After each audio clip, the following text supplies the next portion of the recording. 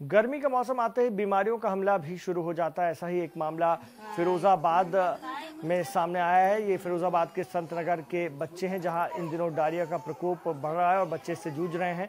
दो दर्जन से ज़्यादा लोग बीमार हैं। इस में और ज़्यादातर इसमें बच्चों की तादाद ज़्यादा है। सरकारी अस्पताल में भी इलाज की व्यवस्था नहीं है। दूषित पानी का सेवन करने वाले गरीब इस बीमारी को झेलने के लिए मजबूर हैं। तो फिरोज़ाबाद में डायरिया का कहर, दो दर्जन से ज़्यादा लोग बीमार, इनमें बच्चों की तादाद ज़्यादा। तो फिरोज़ाबाद से इस वक्त की बड़ी खबर, जहाँ डायरिया ने अपने पैर पसारने शुरू कर दिए हैं। गर्मी का मौसम तेज़ी से बढ़ रहा है, तापमान में इजाफा हो रहा है और इधर डायरिया ने अपना रंग दिखाना शुरू किया है। बच्चों में ख़ास तौर से इसकी शिकायत ज़्यादा है।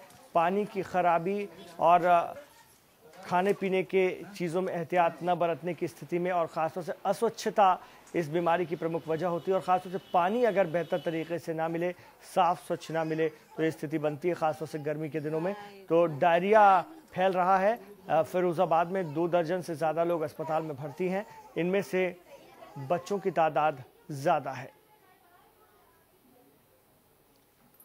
फिरोज़ाबाद से बड़ी खबर, गर्मी आते ही बीमारियों का हमला शुरू फिरोजाबाद के संत नगर में बच्चों में डायरिया की शिकायत बढ़ी। दो दर्जन से ज़्यादा लोग बीमार हो गए हैं। रोगियों में ज़्यादातर बच्चे शामिल। सरकारी अस्पताल में भी इलाज की व्यवस्था नहीं। दूषित पानी का सेवन करने वाले गरीब बच्चे इस बीमारी को झेलने के लिए मजबूर।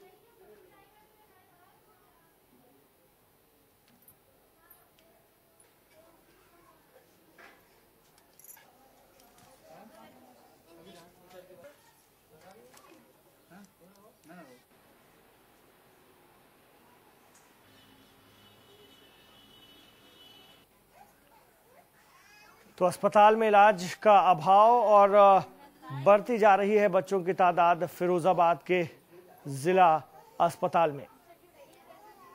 इलाज की कमी और बेहतर सुविधाओं के अभाव में परेशानी ज़्यादा हो रही है गरीब मरीजों को और कई बच्चे इस वक्त डायरिया की चपेट में हैं। फिरोजाबाद के संत नगर में।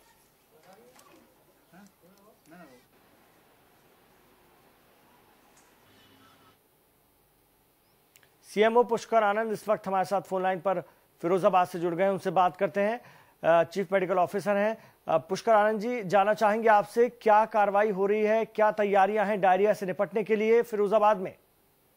हमारे यहाँ सारी कार्रवाइयाँ बिल्कुल तैयार हैं, चार चौवन है हर जगह एपिडेमिक टीम हमारी अलर्ट कर दी गई है। और जहाँ भी हमको सूचना मिलती है तुरंत हमारी टीम पहुँच करके मौके पर उसकी स्थिति का जायजा लेकर कार्रवाई प्रारंभ कर देती है।